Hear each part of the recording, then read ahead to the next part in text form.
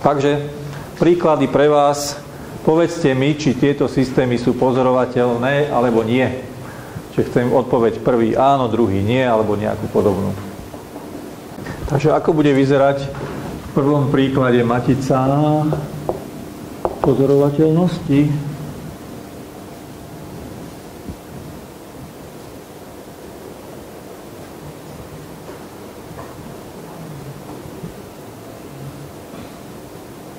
Prvý riadok bude čo? 0,1 a druhý?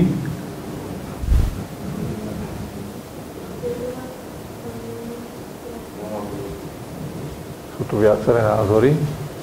Jeden z nich bude možno správny. Ďalší číslo na to. 0 minus 3? Fúha.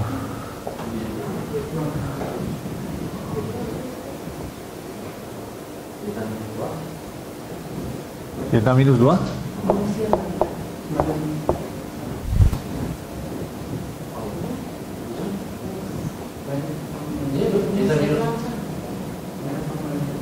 C krát A, hej? Čo hovorí? So there are another possibilities, minus 1, minus 2. Filip, ako s tou trojkou? Tam bolo tiež nejaké na, na, náznak riešenia.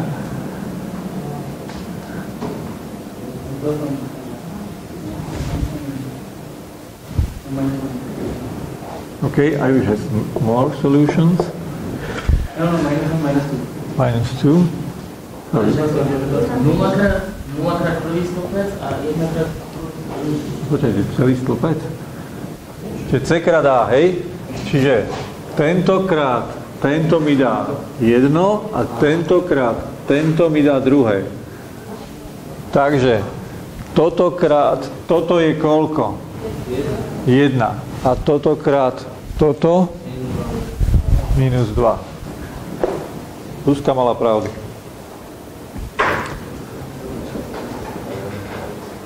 A čo? Pozorovateľný, nepozorovateľný?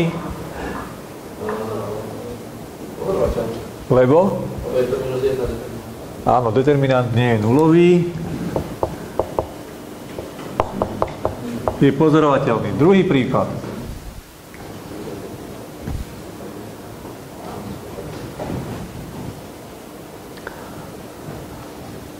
Ako vyzerá matica pozorovateľnosti pre druhý prípad?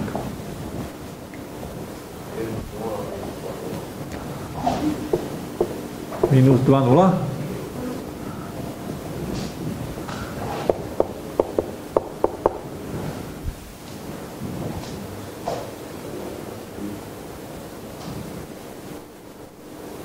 Determinant?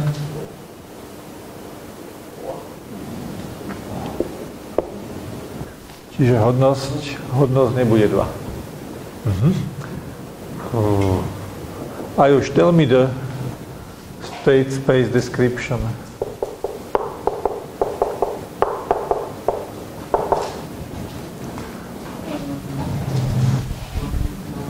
The second second example, yes?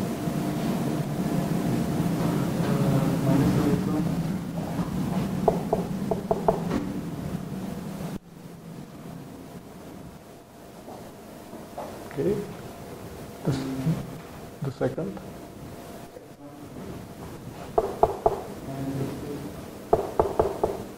And output.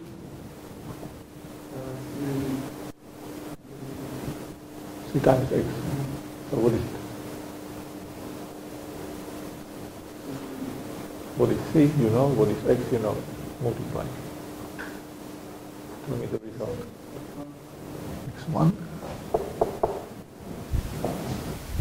Áno.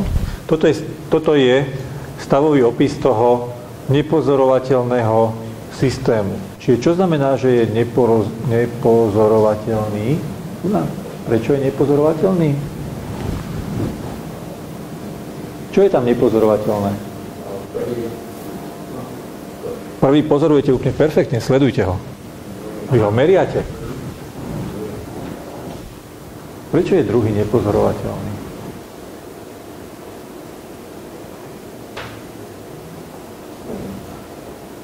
Čiže Meriame prvý stav. To znamená, že toto dokonale všetko pre, presne sledujeme, túto rovnicu. Táto rovnica sa nejako do výstupu nedostala. Ani nejako ten prvý stav neovplyvňuje. Keby tu bolo niekde x2, tak to x2 by sa dostalo do výstupu. Lebo by ovplyvňovalo deriváciu x1 a tým pádom by ovplyvňovalo y. Ale v tomto prípade x2 žije svojim životom. A čo myslíte? Bude to dobrá x2 alebo zlá? A na to, či je dobrá alebo zlá, pozorujte iba tú x2 bez tých ostatných stavov. Áno? Čiže, čiže pozorujte to len takto. Je dobrá, alebo má mínus. Hej, stačí pozerať, či je kladný alebo záporný hrdina. No? Záporný hrdina je vlastne ten dobrý. Tak ako vždy. Áno, čiže tento systém bude nepozorovateľný, ale bude detekovateľný. Pôjdeme k tomu.